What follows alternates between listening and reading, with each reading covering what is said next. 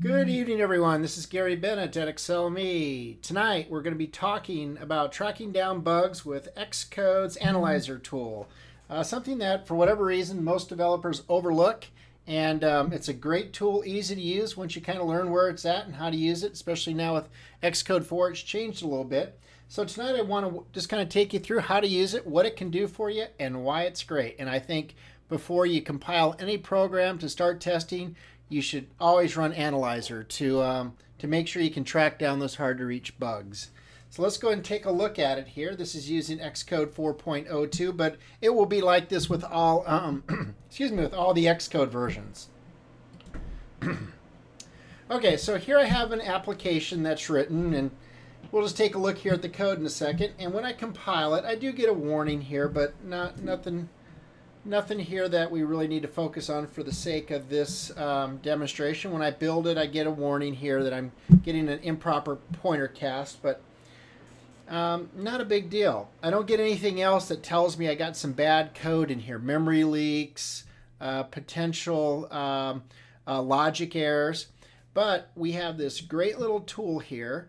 If we click on product, it used to be in a little bit different spot uh, with Xcode 3.2.6 if we hit product and if we go to um, analyze, and it will kind of go through a compile process and it's going to throw some of these little blue arrows here where it doesn't like things. Well, we can get a little bit bigger, better sense of what it's not liking, one by reading it, but by two, kind of expanding it. And we'll get some arrows here that kind of says, hey, this object was allocated, but it was never, it was never um, released. In this case, it's been retained, and so I got a, a reference count of two. So um, I got a you know pretty significant leak there. A retain count, I should say, retain count, reference count of two. Um, also, if I go back here, kind of click down this here, and we'll go back up here. Um, I have a return value down here that it's not liking. It's saying this is undefined.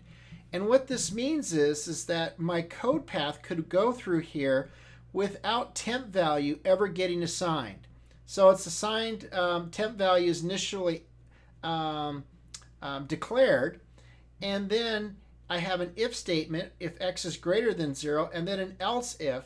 So if it's not greater than 0 or less than 0, i.e. equal to 0, temp value, it doesn't go and get assigned anywhere. So I, I could possibly return junk, um, which isn't what I want. I probably it's saying, hey, you got some sort of logic error going on here.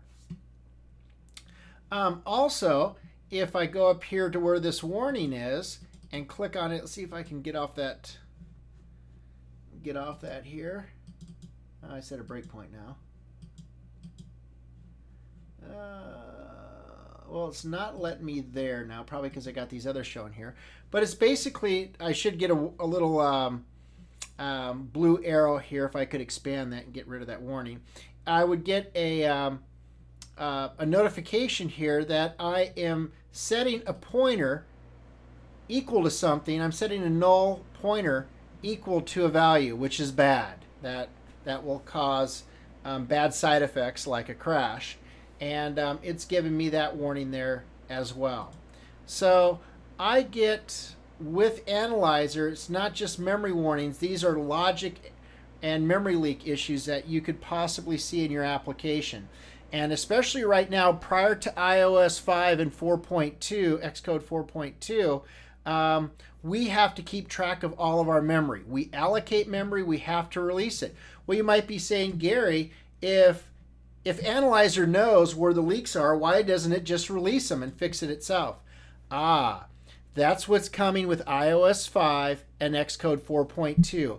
You don't have to do the releases anymore. It has what's called automatic reference counting, and I'll be covering that more in my classes. Um, with my students, I know everybody is under the NDA because they're all um, Apple developers, and Xcode um, I, or I should say iOS 5 and Xcode 4.2, which has this um, um, this new automatic reference counting. is under NDA right now, so only with my students I can go through it, and all the classes will be redone um, using Xcode 4.2 and iOS 5 for my students, and the new class series starts uh, starts next Monday, but they're also recorded and available anytime as well for the same price. So anyway, um, do take advantage of Analyzer. It's an easy tool to use. You get it for free, which is the perfect cost, and it saves you a lot of heartache. And I think before any developer runs his application to start testing, he needs to clear all of his um, all of his issues that Analyzer is pointing out. So with that, I'm going to open it up for Q&A for those of you that are attending live. Uh, this course, uh, or I should say these YouTube videos are also recorded and offered um, to my uh, and offered later on for free, uh, both to my students and anyone who bought my book or wants to watch them on YouTube. And um, like to have you anytime. They're always Wednesday at this time, 6:30 Pacific time. If you'd like to join us later on for the free webinars, just go to my website, click on free videos, and you can watch all the previous recorded uh, sessions, the free 10 minute uh, YouTube videos, or click on and register for free, and you can go ahead and watch this, um, this live as well. And then, of course, my paid courses are over here if you'd like to learn a little bit more and, um, about the information presented for iOS developers. Anyway, thanks for attending. I'm going to open this up for Q&A right now. I'll stop the recording and the YouTube video. And uh, those of you that are attending live, answer any questions that you have, either on my book, um, iOS uh, development in general, or on Analyzer tonight. Thanks, everybody.